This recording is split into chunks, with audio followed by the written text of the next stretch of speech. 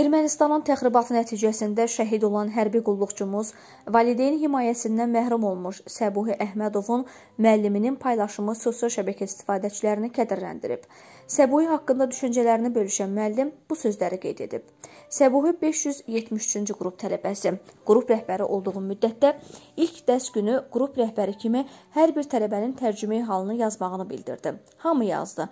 Səbuhi yazıb vərəqi əzib yenidən yazdı. Sonra əlini qaldıraraq mənə dedi ki, olar Ülviyə müəllimə, sizə dərsdən sonra bir söz demək istəyirəm. Dedim olar.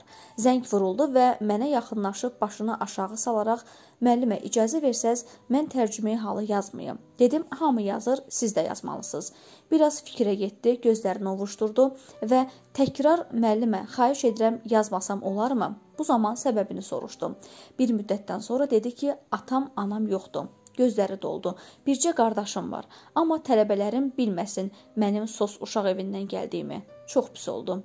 Həmin günü Səbuhi ilə ətraflı həyatı ilə bağlı soruşdum. Qeyd edək ki, şəhid Səbuhi Əhmədov Bakıda 2-ci Fəxri xiyabanda dəfn edilib.